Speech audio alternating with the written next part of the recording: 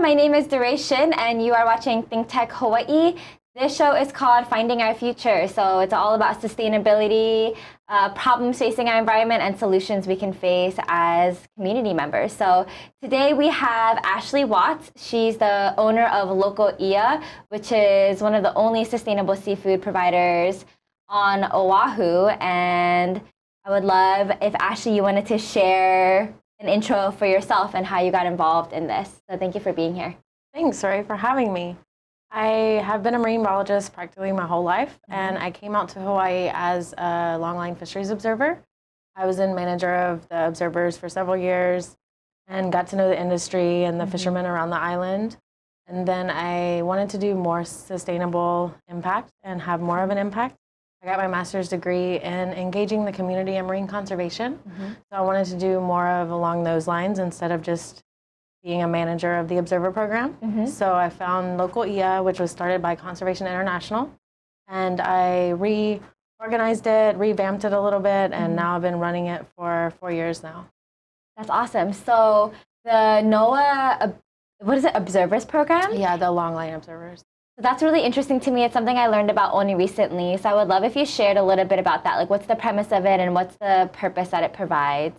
So the Longline Fisheries Observer Program allows for the longline fishing vessels to go mm-hmm. out and have a sustainable footprint more so than other commercial fisheries worldwide. Mm-hmm. So they have these observers who watch their mitigation for sea animals and mm-hmm. the protected species like the seabirds, the whales, and the sea turtles. Mm-hmm. And so they document what is caught on the vessels, and they also do sampling and do certain um, tests on the animals if they are caught. Yeah. And they kind of um, just document the protocols that the fishermen go through in order to fish in a sustainable way. Right. So you're basically the watchdog of the longline fisheries. Yeah, that's kind of a bad term, but yeah. Oh, is it? Yeah. Okay, that's good to know. And then can you explain for people who don't know, you know, the different types of fishing methods? So long line is one that's commonly used, but can you explain the differences in the most common ones that are used? Sure. Locally, the different fishing methods that we have are long line, which is a line that's usually 40 to 50 miles long. And it's wow. one line, and then it has dangling branch lines on it with one hook. Mm-hmm. And so each of those hooks are baited um, you only get a ratio of maybe, if you're lucky, 50% of those hooks would have something on it. So it's not a lot of catch. Um, they're really easily able to mitigate the bycatch um, by the depth that they set the line mm-hmm. and all of those kind of things. And then you have the short line fishermen who fish in the same method, but they only have a line that's a mile long. Mm-hmm. So they can target different species. We have we buy from one of the fishermen who go out to the seamount and target the different monchong species. Mm-hmm. So that's a shorter um, commercial fishing method. Mm-hmm. And then we have the guys who go out locally who go trolling, and that's mm-hmm. when you have lines connected to the vessel with one hook and you're moving around um, trying with a lure, usually not a live bait, mm-hmm. trying to catch um, pelagic species. And then we have guys who go out and jig for bottom fish, and that's when you have one line, one hook, mm-hmm. and you're going out um, kind of moving the line up and down while the boat is stopped. Right. So in terms of bycatch, and bycatch is, for those who don't know, when you get untargeted species. So you're basically killing or injuring other animals in the ocean that you weren't intending to get. Um, so that's a big problem amongst both environmentalists, animal rights activists, um, just in terms of loss of animals. So what would you say? I mean, it's, is it kind of in that order in terms of the amount of bycatch? Like long lines have the most in terms of local fishing, and then as you get into the shorter lines, it's going to be less.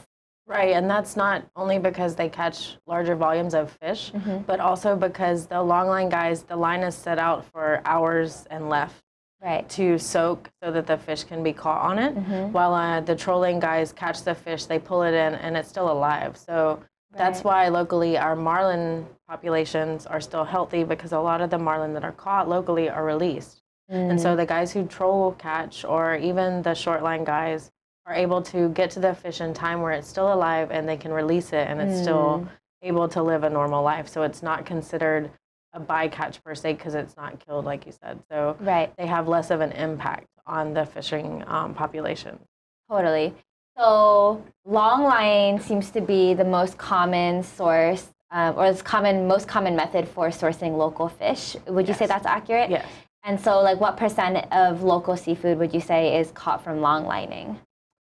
That's kind of a difficult question to answer because a lot of our seafood that's sold locally, not only in the grocery stores, but in the restaurants and even in the um, seafood markets, such as Thomas Tamashiro's and things, is imported seafood.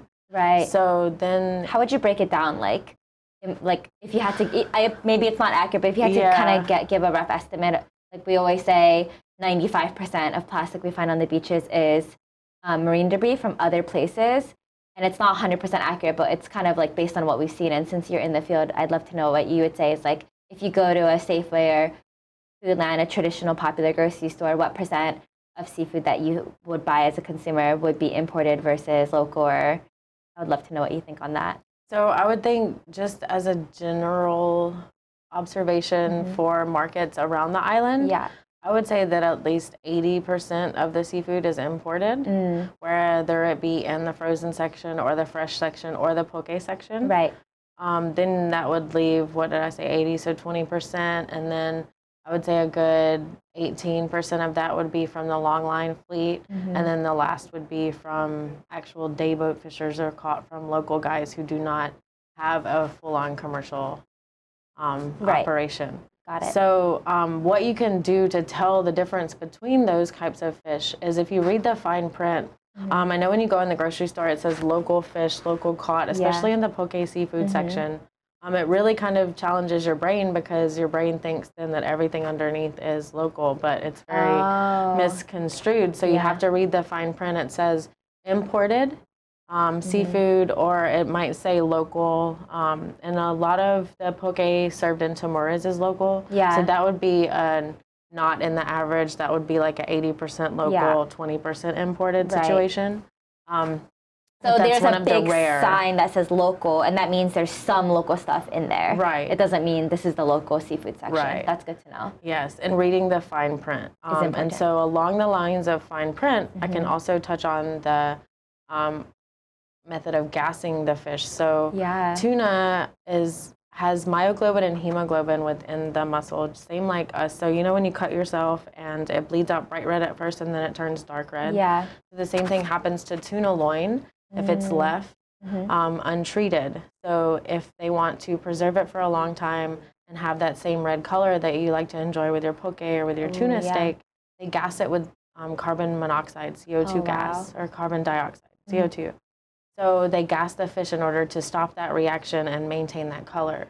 And so I would say 99%, if not 100% of imported tuna is gassed. Wow. Just for it's like a preservative essentially. Right. So I tell the customers who come buy from us directly at the farmers market or restaurant chefs who buy from us wholesale to not purchase fish um, with your eyes, but also with your nose. So if the Mhm. fish smells like fish, then it's not very fresh. Um, we have ahi Wow, in the yeah. summertime that are lighter pink, Mhm. aren't necessarily bright red, but are still just as fresh, just as firm. Yeah. It's because in the summertime they are um, doing different biological activities and the Mhm. is hotter. A lot of times the females are preparing to spawn. Totally. So a lot of their energy is taken from their um, meat and put into their gonads, Mm. their reproductive organs. yeah. So um, the color isn't as Red. red. In the but- summer. Right. If it's fresh. Right, but Okay. it's still just as fresh. It's still just good for poke. Um, and then also locally, we have a different species of Mhm. tuna called a aku Mm. or skipjack tuna. Yeah. And a lot of people don't know that that is just as good for poke and raw preparation, sashimi even, Mhm. same like ahi. So, yes, could you talk a little bit, about ahi? Because I know that that's really popular. uh, Would you say that's the most popular Yeah. fish? So, talk about that and then the alternatives that exist and why um, they might be better options for a consumer who's trying to make better choices. Okay. So ahi, I don't know if you know or if the um, people watching know, but ahi refers to actually two different types of tuna. It's Okay. yellowfin tuna and big eye tuna. Mm. The big eye tuna is mostly more offshore, very far away from the island. Right. It's caught majority of the time by the longline fleet. Mhm. Sometimes a couple of the ahi will come close enough for the guys to catch locally. the local troll caught tuna is most of the time yellowfin tuna. Mm-hmm. Um, whenever I started working with the local fishermen and not the longline guys, and I switched over and started doing this business, mm-hmm. I was told over and over again that that troll caught tuna could not be served as sashimi in the restaurants, and it wasn't as good as longline tuna. Um, so it took me a while, but I finally debunked that myth mm-hmm. because it depends on how the fisherman catches the fish, how it's iced and chilled, and then how it's stored as well. Totally, yeah. So if the fisherman takes the utmost care with the fish, then the yellowfin tuna can be served just as mm-hmm. in the mm-hmm. same preparations as big eye tuna. Mm-hmm. So I drop um, sashimi grade tuna to several chefs around the island um, instead of them getting big eye from the auction. So that's really cool. Yeah. Um, and just knowing the difference between the ahi and also knowing the other species like the aku. Yeah. That you can have um, instead of ahi, so that you're not putting as much pressure on the ahi population. Right. Um, it's sad to say that the poke craze going nationwide um, is probably truly going to have an effect on the ahi populations mm-hmm. throughout the world because people are um, coming to know poke in in um, along with ahi tuna. Right. And so when I have tourists come to our booth at the farmers market wanting poke, mm-hmm. and I say I have aku or some other kind of fish, they're generally not apt to choose to um, consume that because they've only had ahi in the past.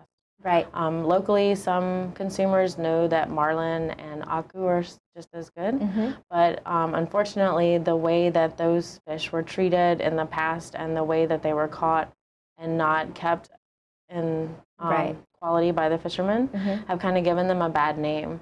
Oh. So even locally, we're going through and kind of revamping the taste for marlin and for aku and yeah. trying to educate the public on the quality that they can provide and the same preparations that you might get with ahi. And would you say that it's better to have fish like marlin and aku because um, because there's so much pressure on the ahi population, or are there is it because of like commercial practices specifically?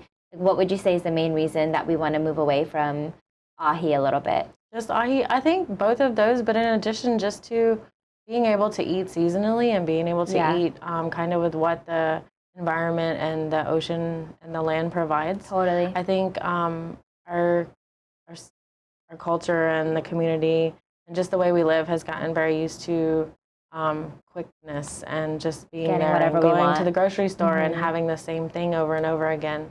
And even with the chefs I work with, mm-hmm. they want to have the same dish on the menu year round. And I try to encourage them to have seasonal dishes and right. certain things because um, we do live in Hawaii. We do have access to certain things year round, mm-hmm. um, but we do have seasons for some fish and some produce, and so it's nice to showcase that and kind of show yeah. the community members and the consumers that if they do support those locally seasonally right. produced produce, it's um, more sustainable for the island. Yeah, so just to circle back to the issue on carbon dioxide gassing of the um, tuna that's coming in, would are there is there evidence that there's human health impacts to that? Is that why that's a concern? I don't know the evidence of that. I just know that I wouldn't want my fish gassed.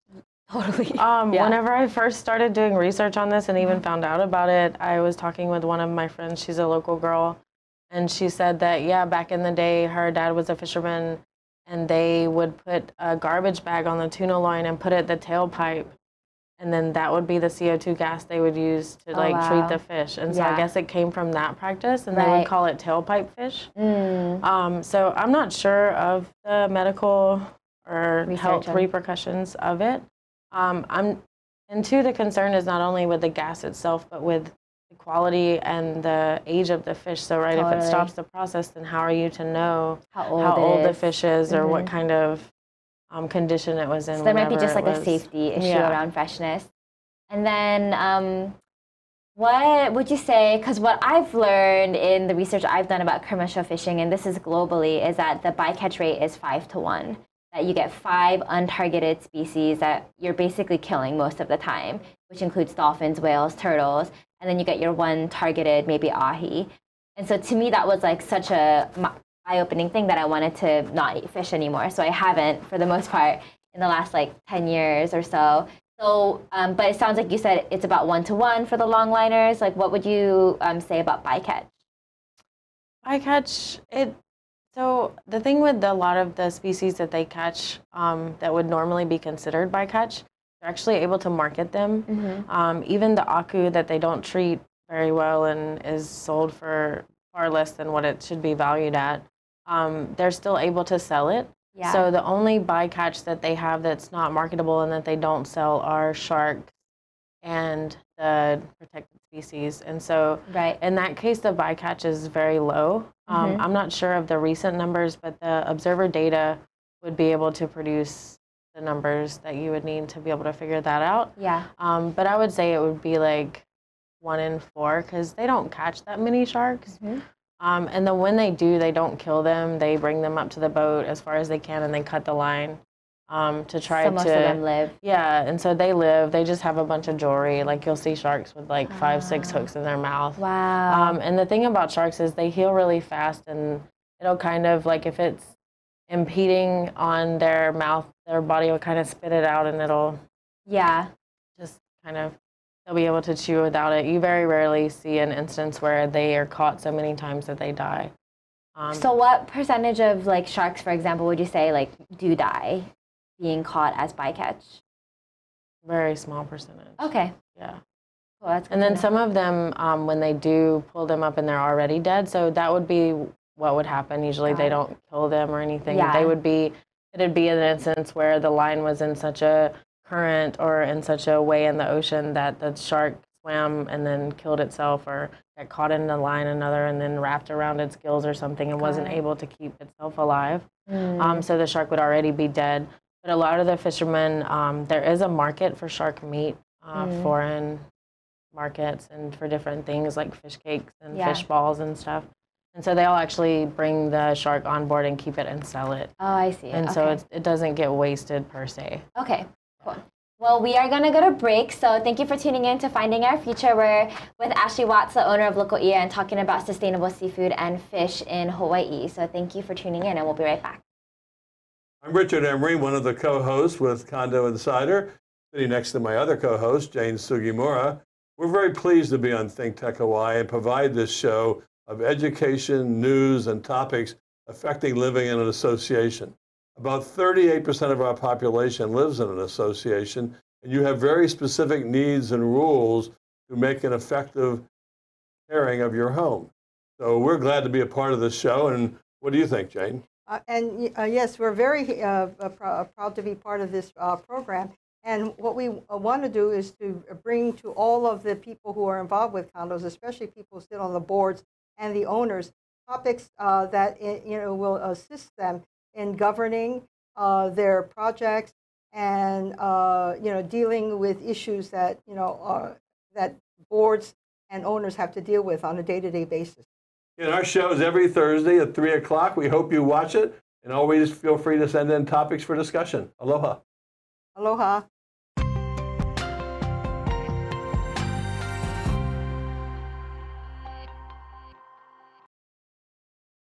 Aloha, you are watching Finding Our Future, and my name is Doorae Shin, and we have Ashley Watts, owner of Local Iʻa, here and I'm a marine biologist talking about sustainable seafood and fishing in Hawaii, a super important issue that I think can get confusing for consumers. So we talked a lot about the fishing industry and their practices, and now we want to kind of shift to like what can a consumer do and what should consumers really be most aware of around their purchases. So when I think that I don't eat fish or buy fish based on what I've learned from an environmental perspective. But for those who still do, you know, I think most of them go to Costco or Safeway or Foodland. What would you recommend that they are aware of? So buying seafood is kind of a challenge, especially if you don't have a background in seafood at all or in marine biology. Um, when there's a couple of entities that have put out um, ways to help. So there's Seafood Watch, there's Monterey Bay um, Seafood Aquarium, and they have not only apps on your phone but guidelines telling you nationwide and um, locally about the different species and whether or not they're more sustainable or less sustainable. Um, that kind of gets confusing because they're not always specific for local species, and a lot of the species that we eat locally aren't listed on those. Um, and if they are, they might be listed in an improper way. So our Right. marlin population is very sustainable. So I highly recommend eating marlin if you get the chance. Um, it's very good. Mhm. And also, you can not only use those apps and whatnot, but just read the fine print of whatever you're buying um, Yeah. and try to buy from a fisherman themselves, or we sell at the farmer's market. Mm-hmm. We distribute to several restaurants around the island. Totally. Um, and then you can also just the species that you're buying, you can look at those apps and maybe look at the web. We're trying to put the information up on our website as well to, Yeah. to kind of denote the different species. Right. Um, but just don't eat a lot of shrimp. Um, beware of shrimp. They're caught with using a different type of method that Mhm. involves a net and it en- encapsulates like the whole um, part of the ocean, the pelagic, and the they actually um, drag weights along the bottom of the shore or the seafloor and kind of disrupt that as well. And so it disrupts a lot of the organisms. Yeah. Um, so the way that the shrimp are actually caught is very unsustainable most of the times Mhm. unless they have um, certain devices that do mitigation for protected species. Right. Um, locally, we have very sustainable shrimp that are farmed on Kauai, and Mm-hmm. those are the ones that we distribute through our company. And then also the Amaebi or deep sea spot prawns. Okay. Um, so those are two, s- two options that you can enjoy locally if you're really into shellfish and shrimp. Yeah. Um, otherwise, they do have certain MSC certified, which is the Marine Stewardship Council, Mm-hmm. um, companies that have certain fishermen that fish for shrimp in ways that are more sustainable. Mm-hmm. And you'll find those on the label. I think that Safeway has a couple of those Right. um, brands. I don't think that Costco does. Um, you have to be aware of how things are labeled. Sometimes they'll be labeled as sustainable, but then you look in the smaller print or the fine print Yeah. and there's something totally different. Um, if you ever have any questions, you can always contact us at Yeah. Local Iʻa and we can help you. yeah. Um, when you're at a restaurant, I think just asking questions about the seafood and where it was caught and kind Mm-hmm. of getting the vibe from the server, whether or not they feel Confident. um, confident in what they're telling you. Yeah.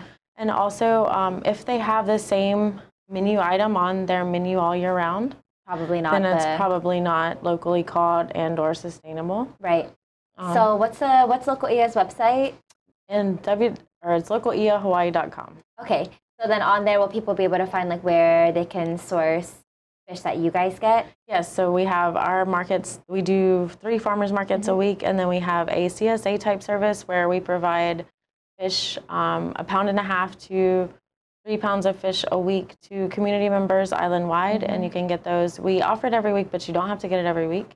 And then um, we also service several restaurants, which are listed on the website, Yeah. As well as Kokua Co-op for retail. And then can you describe what a CSA is for those who don't know so they can get excited and maybe sign up? Yeah, so a CSA um, box is kind of what we modeled our CSF box. So a CSF is a community supported fishery.